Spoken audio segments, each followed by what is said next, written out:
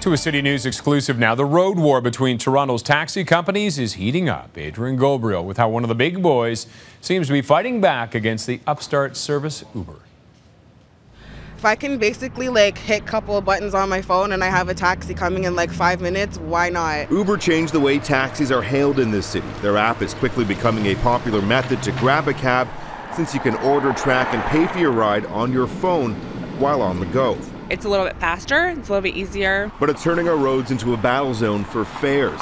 The city and cab companies are complaining Uber isn't playing by the rules.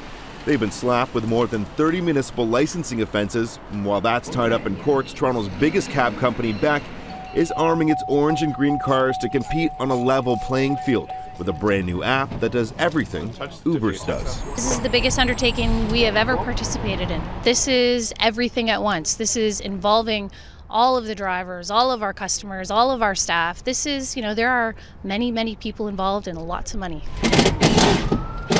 This is proof times are a changing. Beck's entire fleet, all 1,850 vehicles, are getting the major technology upgrade. And that means when the app is launched, passengers will be able to track their cab and pay for it on their phone, just like Uber. And that has drivers pretty pumped.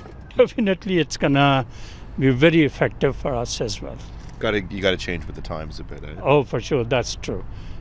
Because if you don't move with the change, you stay behind. It's not just Beck fighting back. Toronto's Royal Taxi has joined the Canadian Taxi Cab Operators Group. They've launched the website taxitruths.ca and took out a full page ad in this week's Globe and Mail calling out the new UberX discount car service while Beck says they're more concerned with updating their riders' experience. This is what drivers are going to see when they're driving around. They'll see themselves on the map. Beck is hoping the new features will be enough to convince customers to catch a ride with them again. Yes, most definitely. I'll be into using that. That uh, just makes it a lot easier to be able to call and hail taxis.